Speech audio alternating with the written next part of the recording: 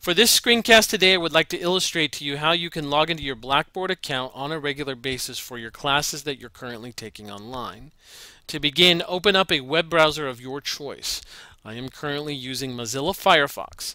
And once you have your browser open, go to the address bar and type in the following address, gccc.blackboard.com. Hit enter and once you've hit enter it will take you to the login screen. You will see that this is the area where you need to enter in your username and password to access your account. What I would like to do is bring your attention to this area down below. This section will specifically show you what you need to do to access your Blackboard account. Your username is the same as your WebAdvisor username, WebAdvisor being the same system you use to register for your online classes. That username is the same username you will enter in this field right here. Your password is your six-digit birth date. So for example, if your birth date is on July 15th, 1985, you will enter in the two-digit month, two-digit day, and two-digit year as your password in this field right here. Once you've logged in, I will show you how you can change your password for future access. If you are having trouble logging into your account, note that your account is available one day after you register for class and you will not see your class until the instructor has made it available.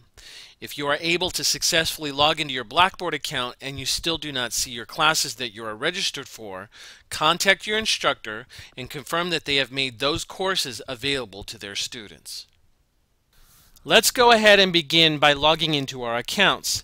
As we stated before, your username is the same as your WebAdvisor username.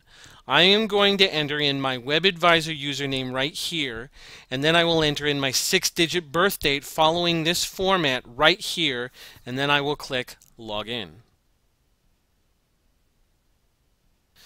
I have successfully logged into my account, and as you can see here in this box, I can access whatever courses that I'm currently enrolled in.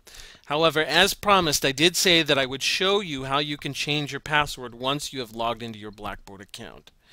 Refer to the Tools box and then click on Personal Information and then click on Change Password. Fill out the form provided and once you have filled out this form and click Submit, you will have successfully changed your password.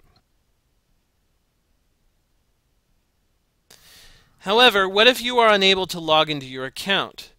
If you are unable to log into your account and you receive a possible error like this, could not log in, valid authentication credentials were not provided. If you receive this error, the first thing you want to do is confirm that you are using the correct username. Again, to reiterate, the same username you use for WebAdvisor is the same username you use here. So to make sure we are using the correct username, we need to go to WebAdvisor and retrieve that. If you are a student at Grossmont College, you can go to the grossmont.edu website and then click on the WebAdvisor link right here and it will take you to WebAdvisor. If you are a student attending Cuyamaca, go to cuyamaca.edu and then you can click on the WebAdvisor link right here. To retrieve your WebAdvisor username, click on the Account Information link and then click on What's My User ID. Fill out the form provided, your last name being required, and then you can either enter your social security number or your colleague ID. Once you've filled this form out, click Submit and then on the next page it will display the username that you need to use for Blackboard.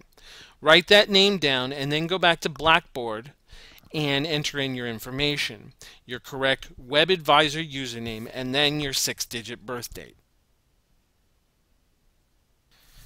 However, if you're still unable to log into your account after retrieving your username, you can click on the Forgot Password link right here. Clicking on this link will bring up a new window and you can choose an option to retrieve your password. Enter your information for one option only, whether it's the username option or the email address option. We already know our username since we have retrieved it from WebAdvisor. So what I would suggest doing is filling out the username option here by filling out your first name, your last name, and then your WebAdvisor username. Once you click Submit, check your email for a password reset link from Blackboard where you can reset your password and then access your account. If you decide on option 2, the email address option, you need to make sure that the email address that you enter here is an active email address that is associated on your WebAdvisor account. So the email address that is on WebAdvisor needs to be entered here if you choose this option. Again, fill out the form provided, click Submit, and you will receive the password reset link from Blackboard. But since we already know our username, the best option for you to choose is option 1. Once you've received the password reset link, you should be able to reset your password and then access your account. However, after retrieving your WebAdvisor username, after clicking on the Forgot Password link, if you are still unable to access your Blackboard account, the next step you will need to take is to contact your instructor. Your instructor has the ability to access their Blackboard roster, confirm what your username is, and reset your password. If you are unable to contact your instructor and you need to get into Blackboard right away, you also have the option of calling the help desk for each individual college. For Cuyamaca students, call area code 619-660-4395.